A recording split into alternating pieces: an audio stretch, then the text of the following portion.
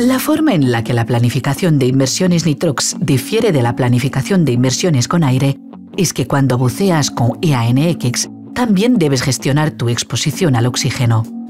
Afortunadamente, para los buceadores nitrox que permanecen dentro de los límites normales de buceo recreativo, esto puede ser un procedimiento muy sencillo y directo. Aunque el buceo con nitrox reduce tu exposición al nitrógeno, no la elimina. A pesar de utilizar correctamente uno o más de los métodos aceptados para la planificación de inmersiones nitrox, todavía puedes sufrir la enfermedad descompresiva. Una forma de controlar tu exposición al nitrógeno cuando buceas con nitrox es simplemente seguir utilizando el mismo ordenador de buceo que usabas para bucear con aire.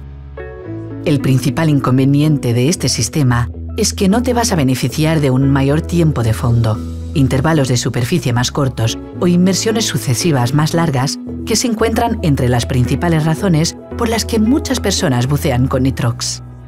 Recuerda que aunque puedes utilizar un ordenador o una tabla de buceo para aire cuando bucees con nitrox, todavía tienes que tomar las medidas necesarias para asegurarte de que tu exposición al oxígeno no excede los niveles aceptables. Los ordenadores de buceo programables para nitrox hacen el buceo fácil registran tanto la exposición al nitrógeno como al oxígeno. La forma más sencilla de gestionar tu exposición al oxígeno es bucear con un ordenador que siga tu exposición al O2. Analiza tu gas, establece el valor FO2 en tu ordenador y observa cualquier límite o advertencia que muestre. Este método también proporciona todos los demás beneficios que obtendrás de bucear con un ordenador, que incluyen el seguimiento de una absorción de nitrógeno, maximizar tu tiempo de fondo y la capacidad de controlar con precisión tu velocidad de ascenso. Como alternativa, un enfoque sencillo para la gestión de tu exposición al oxígeno es permanecer dentro de la PO2 máxima de 1,4 baro atmósferas y asegurarte de que tu tiempo de inmersión total para todas las inmersiones en un periodo de 24 horas no exceda 180 minutos, 100% de tu reloj diario. También debes asegurarte de que no recibes una sobredosis por exceder de 150 minutos en cualquier inmersión única del día. Si pretendes una mayor seguridad, una forma común para planificar las inmersiones nitrox es utilizar el concepto de profundidad equivalente con aire, PEA, en relación con la misma configuración de ordenador o tablas de buceo que normalmente utilizas en inmersiones con aire. A muchos buceadores nitrox les gusta utilizar el hecho de que el EANX contiene menos nitrógeno que el aire para ganar un margen de seguridad adicional.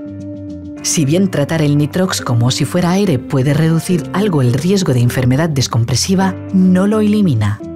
Los buceadores que utilizan el nitrox como si fuera aire todavía deben mantener su exposición a las elevadas presiones parciales de oxígeno dentro de límites aceptables. Recuerda, tanto si estás buscando aumentar el tiempo de fondo como si quieres disminuir el riesgo de enfermedad descompresiva, la velocidad de ascenso adecuada debe mantenerse. Con tantas herramientas y opciones disponibles de planificación, debe quedar claro que el buceo con nitrox es tanto un proceso de toma de decisiones como un proceso de planificación. Por tu propia seguridad, permanece siempre dentro de un límite de PO2 de 1,4 bar atmósferas y mantén el tiempo de inmersión total para un periodo de 24 horas dentro de los 180 minutos. El buceo con nitrox abre la puerta a oportunidades que no están disponibles para los buceadores recreativos que utilizan aire. Puede requerir un poco más de gasto en recursos que el buceo con aire, pero si sondeas a los buceadores que han descubierto el mundo del buceo con EANX, la respuesta general será vale la pena.